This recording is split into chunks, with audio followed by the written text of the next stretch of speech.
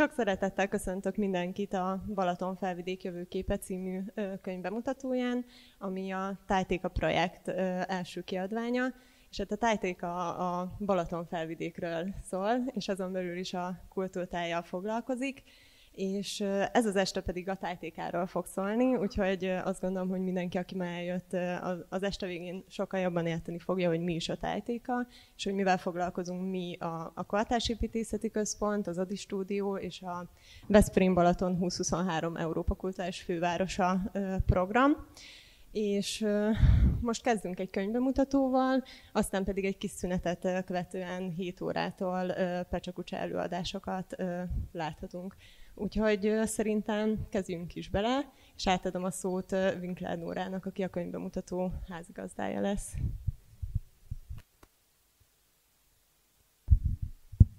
Így. Szuper.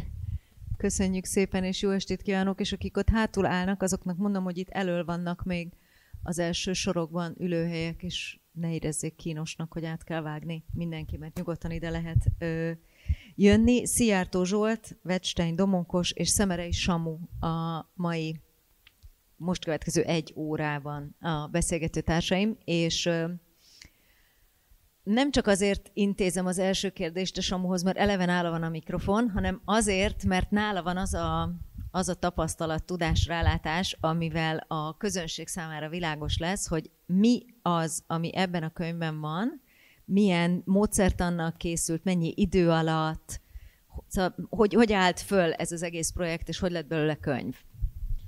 Egy egészen érdekes kérdéssel kerestek meg engem az EKF részéről, a közönségben ülő egyik kolléga, hogy van egy olyan elképzelés, hogy egy szexi régióról szeretnének egy könyvet, illetve egy projektet csinálni, és van-e hozzá kedvünk, érdekel minket, és hogy ezzel a címmel nyilván.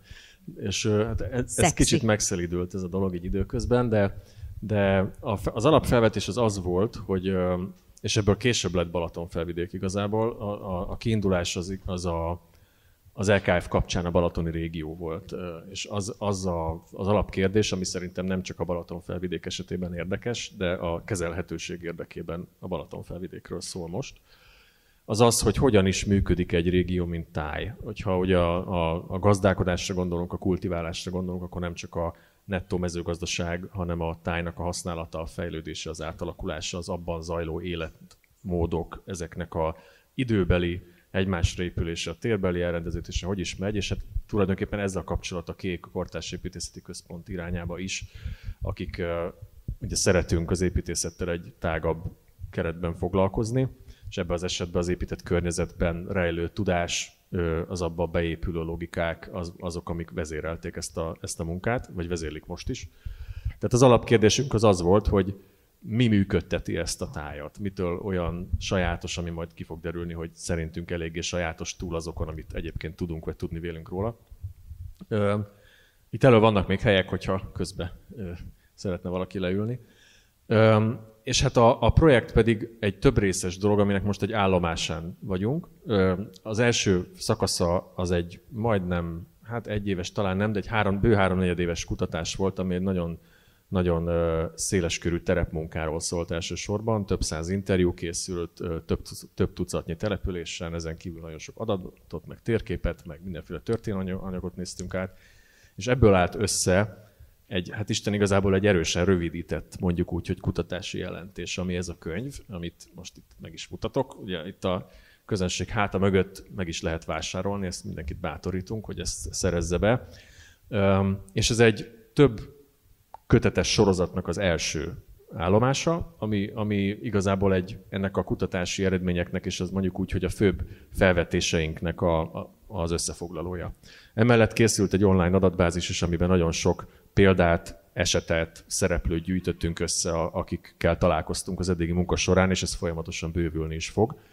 És a következő kötetek, erről majd a Pecsakusa során is beszélünk, azok ezt a, az előttünk álló több mint egy évben, ugye az LKF idején, illetve reményeink szerint utána is, abba az irányba fogják továbbvinni, hogy azzal a tudással, amit most összeszedtünk, elkezdjünk dolgozni, elkezdjük ezt megformálni és elérhetővé tenni azoknak, akik, a, akik ott élnek, akik oda szeretnének költözni, vagy akik oda látogatnak. Ez három eléggé elkülöníthető csoport. Mondd még egyszer, létszik ki a három csoport? Hát az ott lakók, Igen? az oda mondjuk úgy, hogy tartósan látogatók, tehát akik nyaraló tulajdonosok, szőlő tulajdonosok már, vagy szeretnének azok lenni, ugye most zajló nyomásnak a, a, a kifejtői, majd erről is szerintem beszélünk. Uh-huh. Um, és a következő évben pedig egy olyan programsorozat is lesz, egy nagyon sok elemből, sok helyszínen álló programsorozat, ami ezt az egész témát a helyszínen fogja megmutatni azoknak, akik, akik majd ott ezeken részt vesznek, a sétáktól, a Budapest száznak a Balaton felvidéki pincés változatán át egy csomó minden másik bezárólag. És még egy dolgot mondani kell, ami a mai estének egy újdonsága, és aztán elhallgatok. Azon túl, hogy a Bozsik Barbarát és Szí Barbarát, akik magukat nem mutatták be, én azért itt megemlíteném, mint a, a projektnek a vezetőit, akik itt az estét felvezették, akiknek az egész köszönhető tulajdonképpen, hogy itt a kis kiállító terünkben van egy pár poszter, amire néhány olyan adatot tettünk föl, amik a könyvben nincsenek meg, viszont nagyon beszédesek, amikor a régiónak a jelenéről és a jövőjéről beszélünk, meg azokról az állításokról, amik ma el fognak hangzni, úgyhogy mindenkinek javaslom, hogy a szünetben majd nézze meg, mert nagyon izgalmas lesz, különösen a beszélgetés után szerintem. Én remélem, hogy nem ö, a teljes egy órára értetted, hogy elhallgatsz, mert nagyon sok kérdést vetett fel az, amit mondtál, de volt benne egy gondolat, amivel be tudnám vonni a két másik szereplőnket, a, amire azt mondta Samu, hogy ez egy nagyon speciális ö, hely, ez a Balaton felvidék, és ehhez én is csak csatlakozni tudok, és nagyon ö, személyesen és szenvedélyesen tudok ö, beszélni arról, hogy szerintem miért olyan extra a Balatonfelvidék, de mi az, ami a általatok képviselt szakmák és azon szempontok szerint is validá teszi ezt az állítást, hogy, hogy ez a Balatonfelvidék, ez, ez valami, valami speciális hely.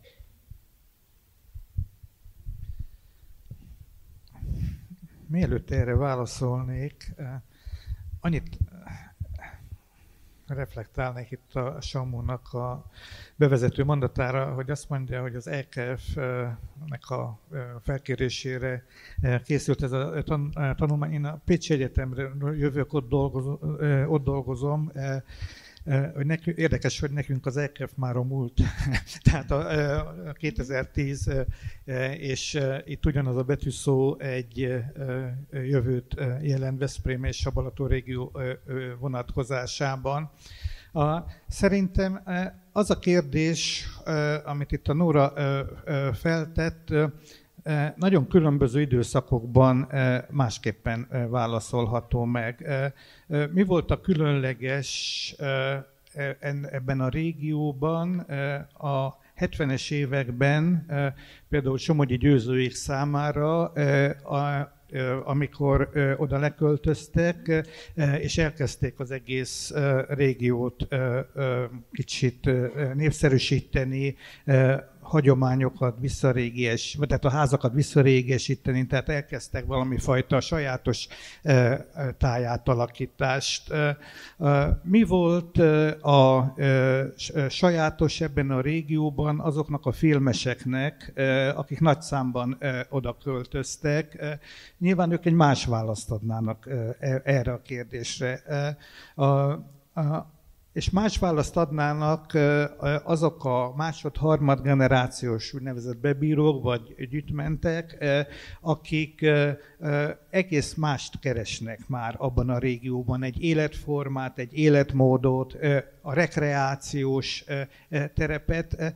Tehát, hogy erre a kérdésre azt gondolom, hogy koronként és társadalmi csoportonként is nagyon különböző válaszok adhatók és rekonstruálhatók.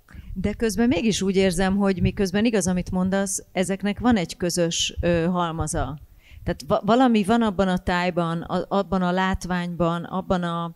Nem akarom itt túl romantizálni a romlatlanságát, de valóban van egy romlatlanság, amit lehet, hogy pont mostanában már nagyon mm, óvnunk kellene, de az biztos, hogy mondjuk tíz évvel ezelőttig ez egy nagyon békén hagyott,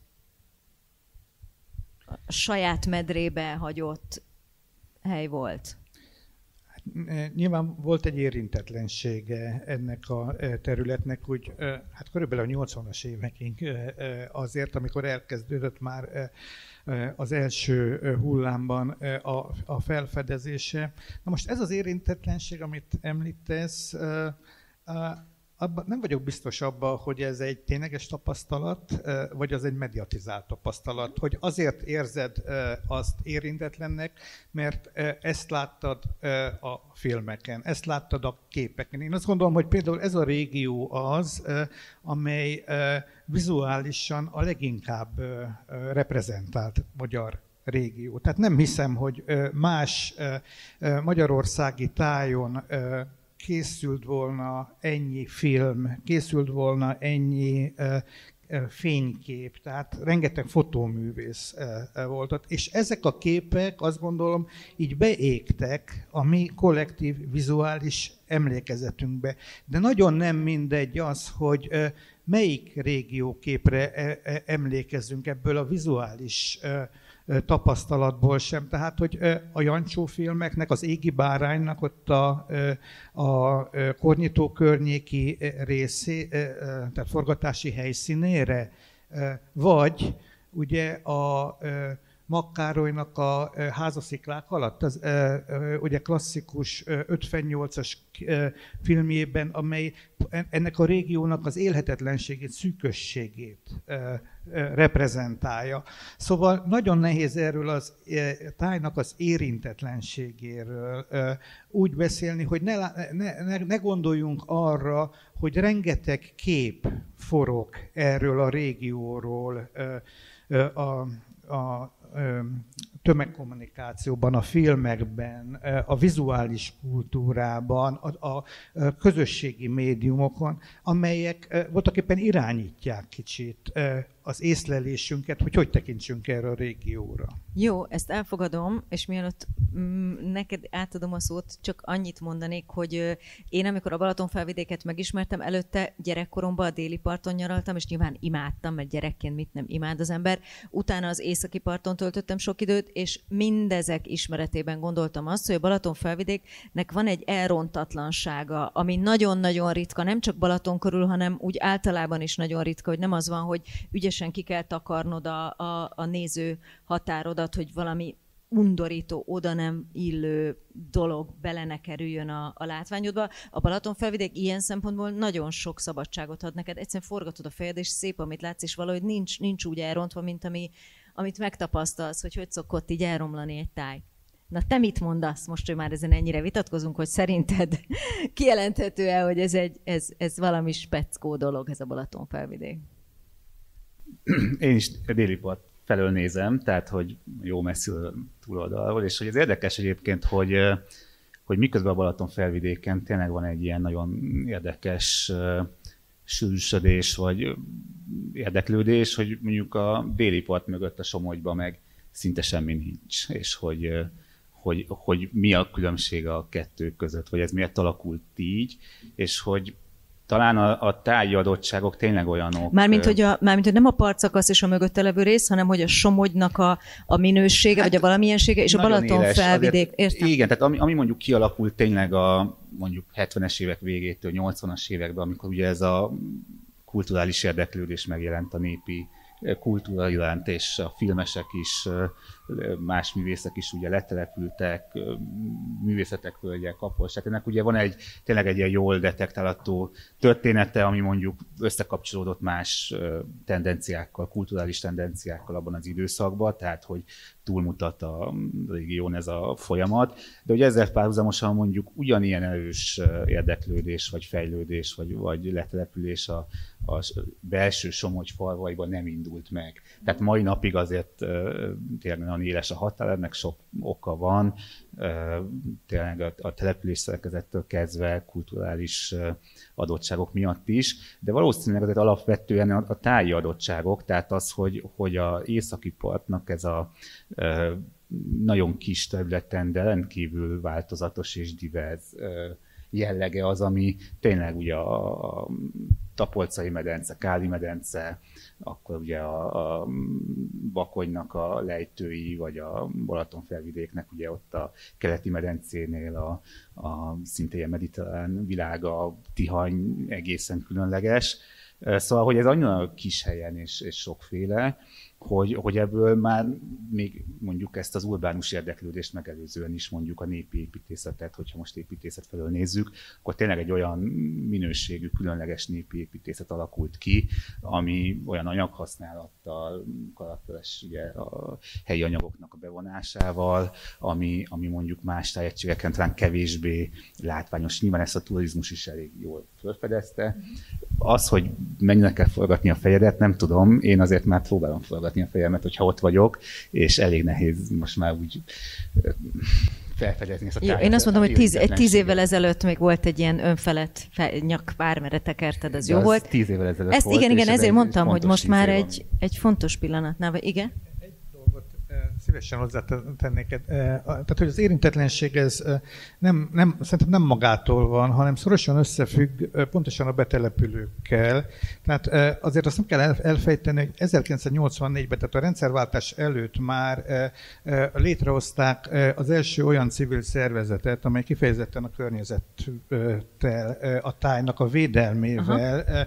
és a széles értelemben vett környezetvédelemmel foglalkozott, és ebben rengeteg rengeteg építész volt, és elkezdtek egy hát nem is túl békés, felvilágosító munkát a tekintetben, hogy milyennek kéne lenni a tájhasználatnak. Ugye csak emlékeztetek, a Szomjas Györgynek van egy filmje, építés és rontás a Káli medencében, nem tudom, ezt résztvevők lát, nyilvánvalóan. Szóval ez, ez 80, ez, ez is még rendszerváltás el, előtti film, és ugye ott a, a medencének a főépítésze Csete György gyakorlatilag elmondja hát ez, ez szegény helybelieknek, hogy miért ne kockaházat építsenek, hanem hogyan őrizzék meg a házaknak és az egész tájnak az eredeti jellegét. Tehát ez az érintetlenség mögött ott van ez a fajta civil kurázs, civil aktivizmus, ami Somogyban, ezekben a belső somogyi falvakban pontosan e réteg hiánya miatt nem nagyon volt. Tehát ugye oda most később települtek be ném, németek, akik viszont tehát egy-két faluba, akik viszont egészen más viszonyt ápolnak a tájhoz ha már ez a szál előkerült, akkor azért arra felhívom figyelmet, amit elmondtam az előző beszélgetésen is, hogy, hogy az egész népépítészet és annak a megőrzése jelenség, az egy városi jelenség, ezt vegyük észre. Tehát, és ez a Balaton felvidéknek az egyik sajátossága, hogy, hogy az, amit egy, egy az összes ilyen fogalom, az érintetlenség, az egésznek ez a fantasztikus tájképi jellege, ezek mondjuk úgy, hogy egy városi kultúra által rávetített képek, ha már képekről beszélünk, és az is De nagyon rávetített, fontos, vagy, vagy a városi kultúra felől felismert? Mind a kettő, ennek a kettőnek a kombinációja. Igen, mert szerintem ez... van ennek egy, még egy ilyen ártatlanabb szakasza, tehát amikor tényleg csak az van, hogy felismered, nem az van, hogy projektálod, nem az van, hogy a, a városi idegrendszered megtépázottsága felől nézve olyan jó, hanem hogy van egy valódi Persze, tehát hogy ezek, ebbe van, hogy mondjam, nem teljes mértékben cínikus az, amit mondok, csak szerintem érdemes felismerni, mert ez elvezet minket ahhoz az egyik nagyon fontos, legalábbis a mi számunkra nagyon fontos felismeréshez, ami a könyvben is benne van, hogy, hogy ez a régió, ez nem túlzok, amikor azt mondom, hogy év ezredek óta, tehát nem a, nem a 60-as évek óta, hanem a római kor óta egy olyan régió, ahol a városi és a falusi kultúrák együtt éltek egymással. Ugye a Baláca pusztai villagazdaság, ami nekem az egyik kedvenc helyem az egész környéken, mindig elmondom, tessék elmenni, most újtották fel, csodálatos. A, a Baláce pusztai villagazdaság az egy, az egy rekreációs vidéki villája egy városi valakinek. Tehát hogy ez egy olyan dolog, ahol ugye volt a vidéki tájhasználat, a gazdálkodás, amiből élt az a nyilvánvalóan viszonylag nagy háztartás, amelyik ezt az egészet működtette. De ez alapvetően a római korban is egy urbánus, feltehetően felső középosztály, mennyire lehet erről akkor beszélni, ennek egy, egy, egy, egy ilyen üdülő funkciót is betöltő helyszíne volt. Tehát, hogy ez az egész régió történetén azóta végigvonul, hogy ez folyamatosan itt keveredik egy városi gondolkodás, ami jellemzően nem ott él, de szeret ott lenni, meg egy helyi gondolkodás, aki ezzel megtanult együtt élni, ezt azért azt gondolom inkább érdemes így nevezni, mint hogy feltétlenül minden ponton borzasztóan örül neki. És ebből nagyon izgalmas kombinációk születnek. Tehát, hogy amennyire a magyar pszichének, ha lehet ilyen otromba általánosítással élni, a Balaton az egy aré. Mindenki a Balatonnál az északi parton, vagy a déli parton nem lakik, meg nem tulajdonos, hanem van. Ugye ezt, ezt, a, ezt a szót, ezt azért ízlegessük. A, és ugye ugyanezt nem tudjuk elmondani az Alföldről, ami pedig mondjuk a magyar tájirodalom meg tájköltészetnek a, a csúcspontja. De az iránt abszolút nincs egy ilyen általános vonzalom, és nincsenek olyan jelentős helyszínek, amik egy ilyen nagy közösségi tudatnak a részei. Tehát, hogy e, e, amit ezzel el akartam mondani, hogy, vagy ami szerintem a fontos dolog, amit hozzá akartam volna tenni, amit a, a Damonkosék elmondtak, hogy, hogy ez, a, ez egy történelmi dimenzió, és egy olyan minőség, amivel el lehet kezdeni dolgozni egy olyan helyen, ahol, ahol azért a helyi közösség az alapvetően egy, tehát ha megnézzük a, egy sor település lehet mondani, ahol a népi építészet azért is érdekes, mert egy, egy meginduló urbanizációról beszélünk. Tehát nem egy olyan falu, mint a magyar egy utcás falvak, hogy aki tanult építészet történetet, az tudja, hogy hogy néz ki egy magyar falu, annál egy városiasabb közeg, a bolt, az iskola, a mosóház, a nem tudom, hogy ezek a, ezek a kvázi középületek, amik, amik megképzik ezeket a városiasodó helyszíneket, még egy pici település esetében is, és ez párosul uh, egészen a legutóbbi időkig egy, egy elképesztő szegénységgel. Tehát ugye ugyan, ugyan van egy, ugye a svábok, akik azért jó módban éltek, de ez egy nagyon rossz termőtalajú vidék, ahol, ahol ugye nem véletlen, hogy szőlészet és, és legeltetés volt, mert egyszerűen másra nem volt alkalmas. Tehát, hogy ez egy olyan típusú gazdálkodási formát honosított meg, ami önmagában is egy városi kultúrához kötődött, mert az volt a felvevő piaca. Tehát nem, nem, úgy, nem annyira az önállátás volt az alapdolog, hanem egy kifelé termelő dolog volt, mert szükség volt rá, nem volt más opció. Tehát, hogy, hogy itt ezek a, ezek a világok, ezek együtt élnek a mai napig, és a, csak hogyha már még egy hadd, had villancsak még egy dolgot, ugye mi kifejezetten kerestük azt, hogy hol tudunk olyan fogáspontokat találni ezen a, ebben a gondolkodásban, vagy ezen a régión, amik mondjuk túlmennek a szok, szokásos dolgokon, ami ez a kép, mindenkinek megvan a képe a Balaton felvidékről, és az egyik ilyen, vagy a másik ilyen, emellett az keveredő életmód régió mellett, amit nem olyan meglepő, hogy ez az életforma valószínűleg a hátterében áll annak, hogy, hogy a Balaton felvidék az igazából egy iszonyú intenzív ilyen vállalkozó iparvidék retteltesen sok pici családi vállalkozás működik kis településeken, adott esetben high-tech ipari beszállítóként.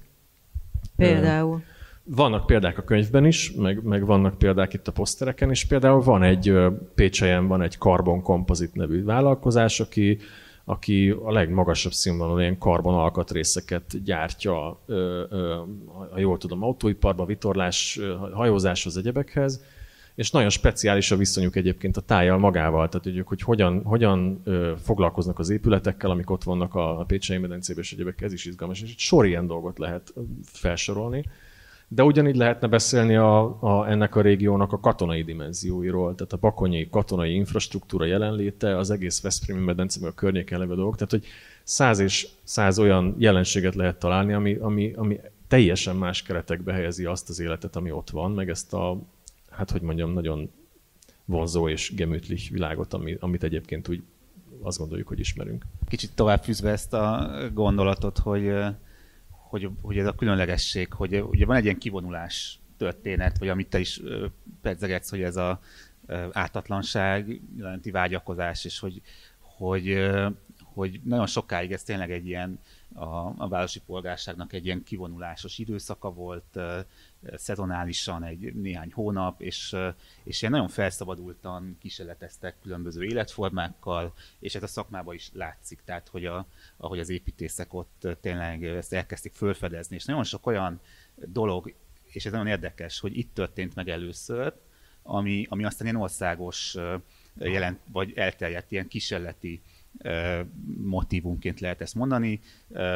Először itt hoztak létre a Nemzeti Parkot, először itt dolgoztak ki vidéken építészet számára is például engedélyezési hatóságot, különböző minta terveket hoztak létre, regionális tervet hoztak. Tehát egy csomó olyan dolgot itt kísérleteztek ki, ami aztán elterjedt, és, és a országban máshol. Például a, a 70-es évek végén az első olyan településrendezés és tájhasználati tervet itt dolgozták ki, Tihanyban és Balacsonyban, nem véletlen talán, amely megpróbálta már a helyi kultivációs mezőgazdasági művelést is bevonni a, a, a védendő, meg, meg egyáltalán a településen, településrendezésnek a, a témájába, és aztán ez, ez is egy olyan gyakorlat lett, ami aztán az országban máshol is elterjedt. Szóval van az egésznek egy ilyen kísérleti jelleget, talán nem tudom, ez a vállalkozó jelleghez mennyire társul. Nyilván van egy elég erős turisztikai háttér, amire el lehet támaszkodni, és ez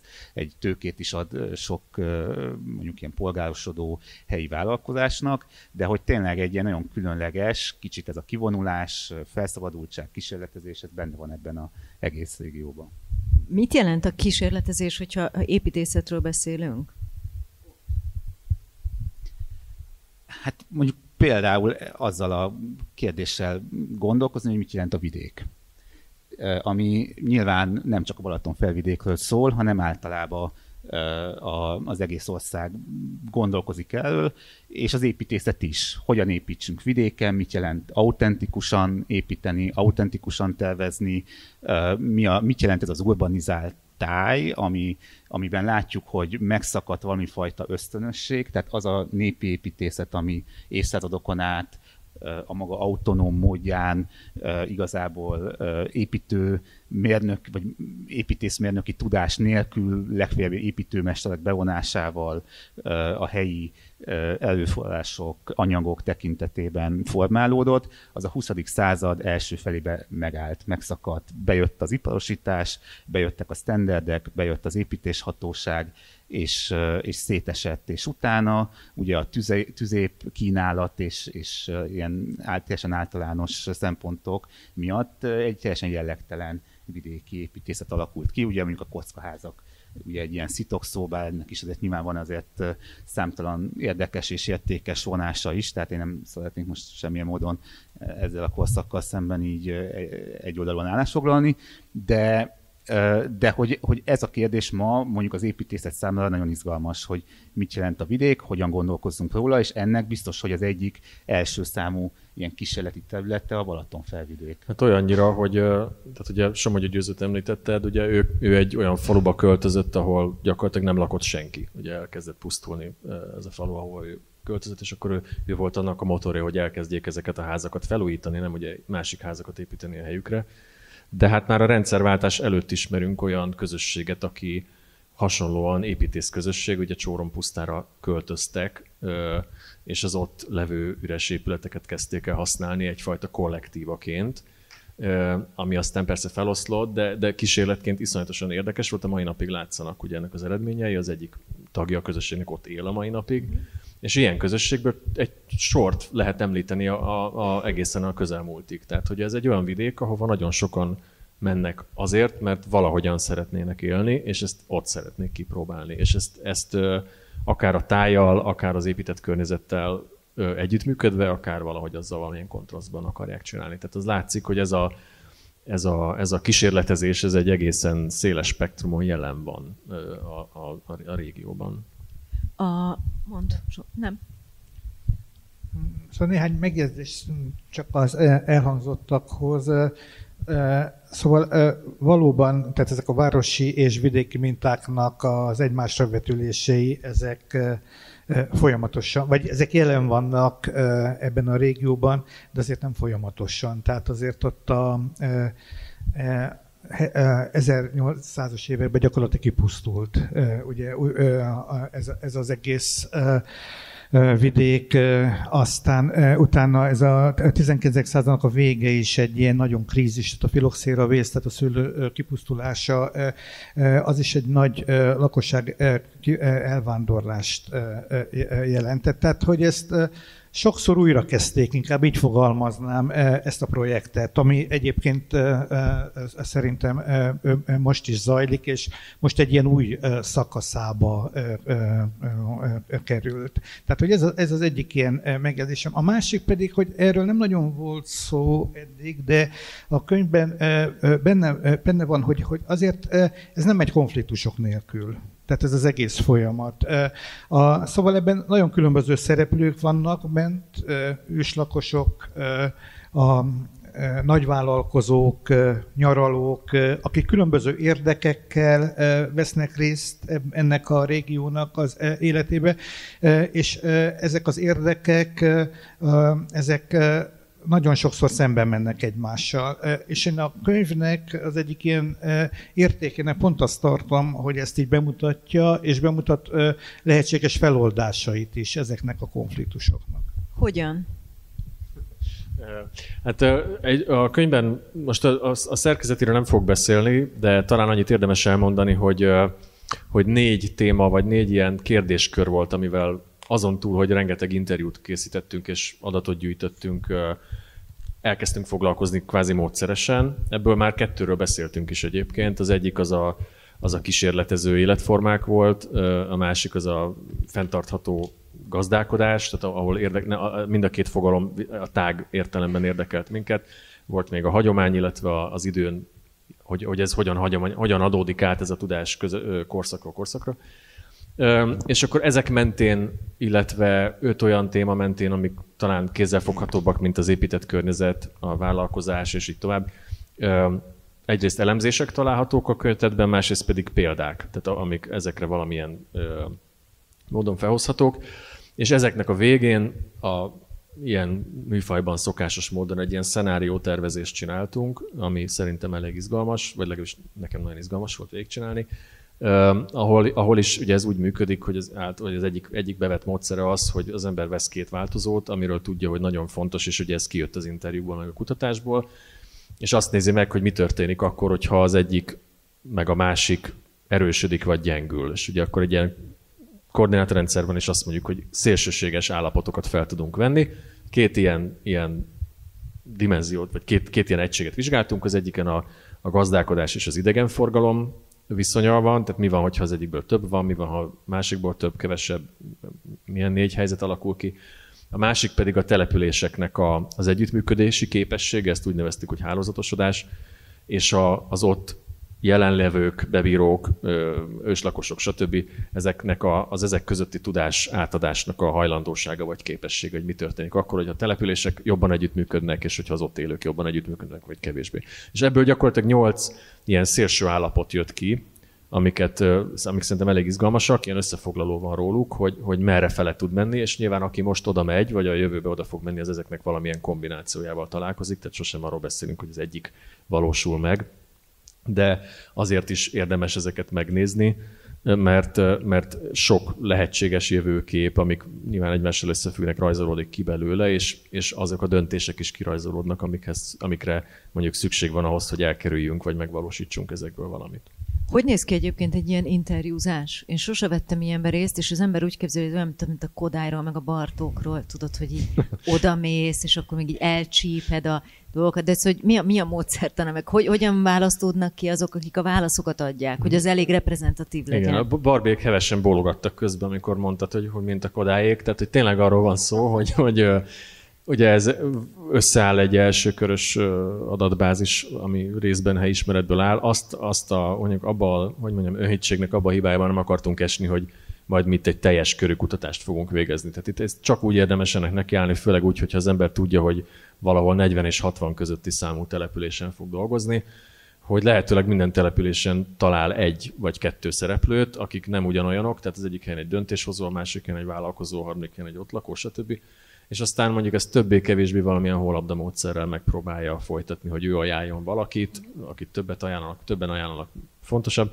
És akkor ebből volt olyan, aki az első alkalommal is borzasztó lelkesen ö, megnyílt, és egy csomó fontos adatot mondott, és volt olyan ember, akit addig kellett üldözni, hogy a gyakorlatilag a végén azért tudtunk elmenni hozzá, mert azt mondta, hogy egyszerűbb volt megbeszélni egy időpontot, mint hogy a 28 ezredik telefonhívást is elhárítani, és kiderült, hogy egy nagyon fontos és nagyon értékes interjú arany lett, és egy nagyon jó esettanulmány lett belőle, de ez rettenetes mennyiségű kézi munka és odautazás, amiért a itt velünk levő hősök, a, akik ezt a munkát elvégezték. Javarészt. Esetleg majd később ilyen multilevel marketingbe át tudjátok ültetni az itt megszerzett kapacitásokat igen, és tapasztalatokat.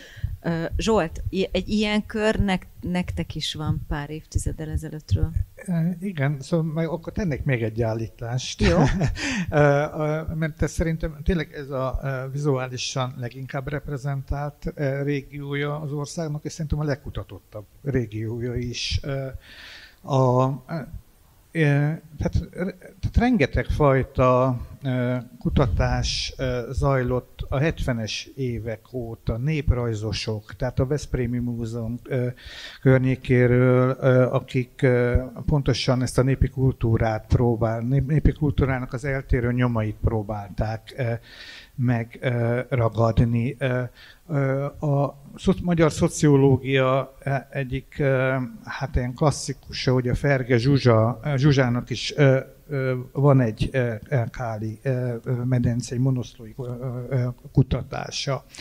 A, ezzel párhuzamosan, amit itt a Barbaráik csinálták, a Corvinus Egyetemnek is, idézitek is ezt a lokáli kutatást, és Szóval nekem csak az jutott össze, vagy eszembe a könyvet olvasva, hogy ugye arról panaszkodtok, vagy azt ö, vetitek itt sokszor fel, hogy milyen kár, hogy ezek az aktivitások, ezek a projektek, amik ilyen mintaprojektek, ezek ilyen pontszerűek. Én ennek a mintájára azt is felvetném, hogy milyen kár, hogy ezek a kutatások is kicsit így önmagukba záródtak, és ilyen pontszerűek, és a, hát most teljesen véletlenül találkoztunk, vagy, vagy, vagy, vagy találkozunk itt. Noha lehet, hogy ugyanazokhoz az adatközlőkhöz kopogtattunk be, és ugyanazok az interjúk, vagy ugyanazokkal készültek az interjúk, nyilván más, kicsit más témából, de hogyha itt is létrejönne valami fajta adatbankja, azt gondolom ezeknek a kutatásoknak, akkor ez sokkal összetettebb és sok szempontúbb képet lehetne ennek a régiónak a, a, a, a tudományos kutatásáról adni. Csak egy mondat kiegészítés, ezt a házi feladatot ezt elvégeztük. Tehát ugye itt egy, van egy rövidített irodalomlista a könyvben, és egy jóval hosszabb forráslistánk, ami nem a könyvben van illetve elkészült ez a bizonyos adatbázis is, és nagy örömmel fogjuk megosztani ezt a weboldalán a, a projektnek majd, illetve bárkivel, aki érdekli.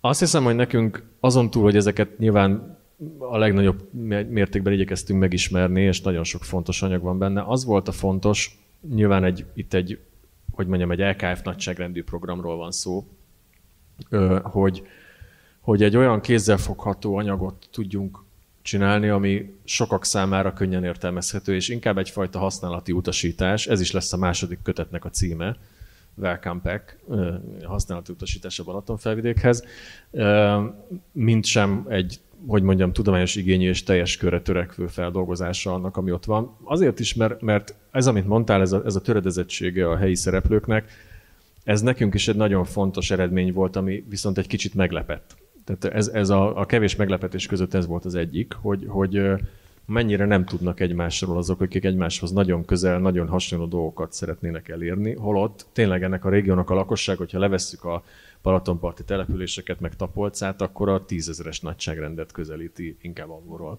Tehát nem arról van szó, hogy nem találják meg egymást, mert annyira sokan vannak. És ezért is olyan nagy kihívás az, hogy, hogy ezt, ezt létre lehet-e hozni, a mintázatok meg mindenfélével ennek ellenére, vagy a szokások ellenére, hogy az ember elkezdi olvasni az ilyen kutatásokat, meg a beszámolókat, meg a történeteket, a szőlőhegyek történetétől elkezdve a gazdálkodásán, mindegyik kivétel nélkül egy hanyatlás történet. Tehát mindenki mindenkorban azt írja le, hogy végállapotában van ez a régió, pusztulnak a szőlőhegyek, itt a vége a legeltetésnek, ott a falvak körül ugye már nincsenek meg a közös legelők, ezért nincsenek csordák, nincs hova menni, a mosóházat már nem használják ilyen értelemben ezt lehet némi távolságtartással is szemlélni, hogy azért ebből a, ebből a végállapotból azért elég jól elketyegett a Balaton felvidék a mai napig, azt gondolom. elhangzott szerintem, most nem mondtad, hogy ez, ez volt az a régió, ahol a leghamarabb felállt a, a, egy ilyen bizottság arra nézvést, hogy milyen új épületek születhetnek, hogy ezek, ezekhez, ezek révén érzékelhető szerintetek, akár 30 éves kutatást nézzük, akár a mostanit, akár a, a, az építészet történetét, hogy a helyben élőknek van egy olyan öntudata, önképe, hogy ő egy Balatonfelvidéki, vagy inkább lokálisan élik meg magukat az emberek. Egy picit, amit mondtál, hogy téged meglepett, hogy nincsenek összehálózatosodva, az talán arról fog szólni, hogy nem élik meg magukat így, de, de kíváncsi vagyok, hogy mit mondtok erre.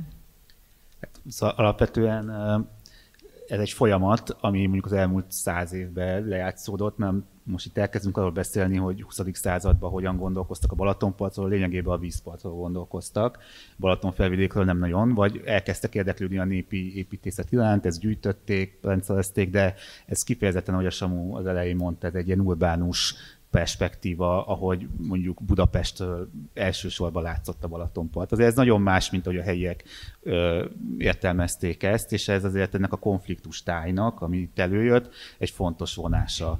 Ö, talán ez az LKF, meg ezek a projektek abba segítenek, hogy összejöjjenek ezek a szálak, és az a sokrétű társadalom, ami most az elmúlt 10-15 évben a Covid miatt, stb hogy sokan leköltöznek, hosszabb időre leköltöznek, életvitelszerűen helyiek ugye ott élnek, elvándorolnak, visszajönnek, tehát ez egy nagyon keveredő, sok rétű társadalom, és biztos, hogy ez a fragmentáltság talán ezekből a jellemzőkből is adódik. Én 2010-ben voltam egy konferencián Pécset, az volt a címe, hogy a kulturális város után, ezt a Samu modellálta, ha jól emlékszem, és, és nagyon tanulságos konferencia volt, mert arról szólt, hogy a Pécsi LKF, ami nyilván sok tanulsággal bírt minden szempontból, hogy, hogy mi lesz utána. És hogy nagyon érdekes, hogy ezek a projektek, mondjuk az LKF, hogy, hogy ezek is egy ilyen mintaadással talán szolgálnak, hogy mondjuk 2010-ben hogy gondolkoztunk egy vidéki nagyvárosnak a lehetőségeiről, és hogy ami ott megvalósult, egyrészt, hogy nyilván Pécs nézve ez mennyiben tartós, vagy fenntartható, de hogy a vidék ilyen értelemben fölzárkózott-e Pécs, Pécshez az elmúlt tíz évben? Ez egy nagyon érdekes kérdés, amit meg lehetne vizsgálni. És ugyanilyen szempontból nyilván érdekes lesz majd az, hogy, hogy a Balatonfelvidék, mint egy ilyen minta, megint csak egy kísérleti terület, hogy lesz-e kisugárzása hatása Magyarország vidéki önképére nézve, tehát hogy azok a projektek, hálózatok, amik itt esetleg most tematizálhatóak, azok máshol is elterjednek-e, és ez egy általános tendencia lesz Egy, egy gyors záró kérdésem van, de nagyon, nagyon kíváncsi vagyok, hogy mit mondtok arra, hogy az, az van ennek a könyvnek a címlapján a Balaton felvidék jövőképe, a Balaton felvidék intelligens tájhasználatának eszköztára. Így, hogy most egy kicsit belelátunk abba, hogy ez egy nagyon sokszínű, nagyon sokféle minőséget egyesítő környék és közeg mi, milyen fogalmakkal írható le mégis, hogy mi, hogy mi az, ami intelligensé fogja tenni ezt a tájhasználatot? Mi itt, mi, mi számít intelligensnek ebben a helyzetben? Hogy mondjam, közhelyekkel tudok válaszolni, amiket viszont fontosnak és igaznak tartok. Tehát, hogy, hogy, hogy van lehetőség, sőt, szerencsére vannak kísérletek is arra, hogy, hogy fenntartható gazdálkodásra uh-huh. vagy arra irányuló fejlődés menjen végbe a vidéken, többnyire tájhasználatról, vagy ugye angolul land use ról beszélünk, ami nem csak a szőlészet, vagy nem elsősorban a szőlészetről szól, hanem például a legeltetésről, ami szerintem egy hallatlanul izgalmas dolog, rendkívül komplex, iszonyatosan sok mindent érint az, azon túl, hogy az ember azt gondolja, hogy állatok legelnek egy mezőn. Ennek van ingatlan jogi kérdése, egy sor olyan dolog, hogy, hogy mondjuk bizonyos települések, például Vöröstó vagy Barnag, akik szeretnének a falunak csordát, ami nem volt nekik már 60 éve, azok hogyan építik fel azt a helyi hálózatot, hogy, ez, hogy ennek a csordának legyenek tulajdonosai. Ezek magánportákon laknak ezek az állatok. Ezeket valaki kihajtsa legelni, legyen hova kihajtani, mert ugye a települések külterületeinek a nagy részét mára már felosztották és magántulajdonban vannak. Tehát nagyon kevés olyan hely van, mint az olyan közös legelők, ahova ki lehetett menni. És azt tudnám folytatni a folyamatot. Gyakorlatilag a teljes ottani életformát, tulajdonviszonyokat, együttműködéseket, vállalkozást, feldolgozóipart, kereskedelmet és kommunikációt érintik az ilyen apró projektek, és ilyenek vannak. És szerintem ez hallatlanul izgalmas.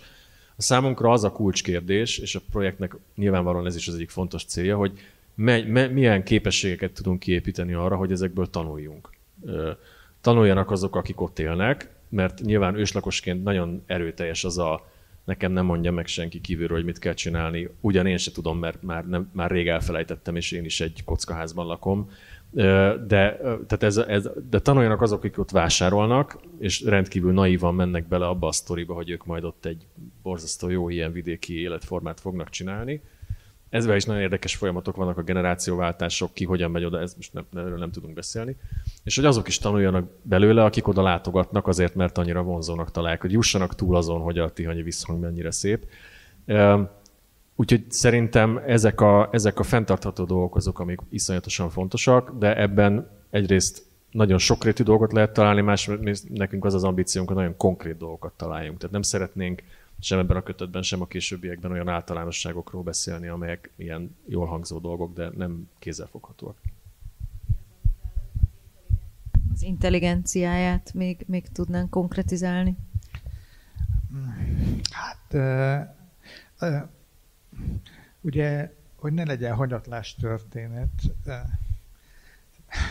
Noha úgy kezdtük a beszélgetést, ugye, mint hogyha, eh, mint hogyha változna. Tehát eh, te is mm-hmm. említetted, mint hogyha az utóbbi tíz évben Igen. valami megváltozna. Tehát szerintem a beszédünkben eh, van egyfajta, vagy a gondolkodásunkban van egyfajta ilyen, nem tudom, veszélyérzet, hogy, hogy valami szét fog hullani.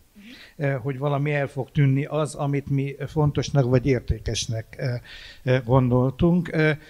És valóban, hogy lehet ezzel szembeszegülni? Hogy lehet, hogy lehet ezzel szembe állni? Mert abban is abba igaza van itt a Samunak, amit mond, hogy a Balaton felvidék köszöni szépen, jól van. Tehát a, túlélte, nem tudom én, az önkormányzatiságnak gyakorlatilag a beszántását.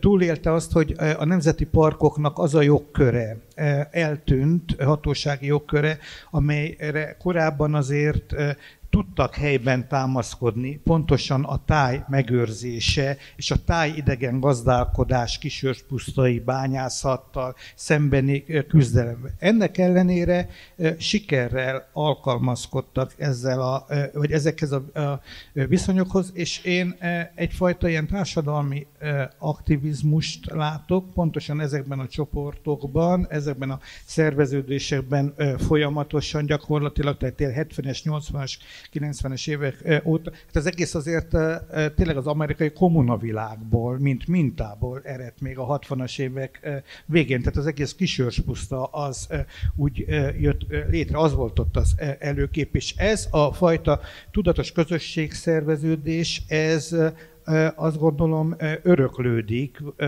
mint egy megvédendő és, és továbbvédendő dolog ezben a térségben.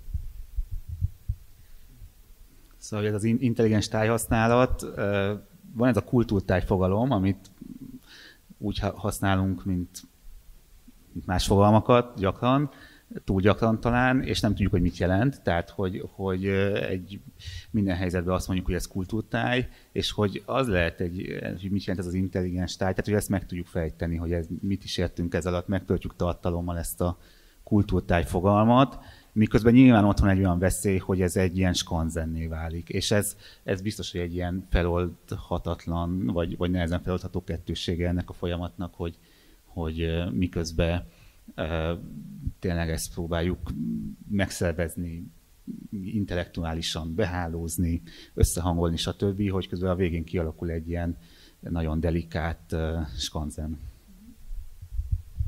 Zárszó?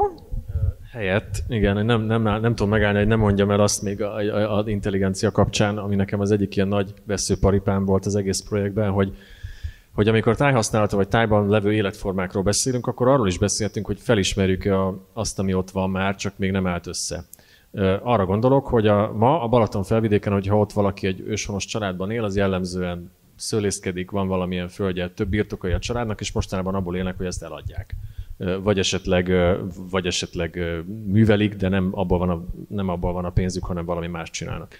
Ma a Balaton felvidéken le lehet élni úgy egy életet, hogy valaki iskolába jár, mérnökké válik, a világ vezető IT vállalatainak dolgozik a régióban, rendkívül sikeres karriert visz, és közben van egy családi gazdasága, csak erről senki nem tud. És ezért mindenki elmegy máshová egyetemre, aki tanulni akar, vagy éppenséggel abba hagyja a tanulmányait, és valamilyen szakmunkássá válik.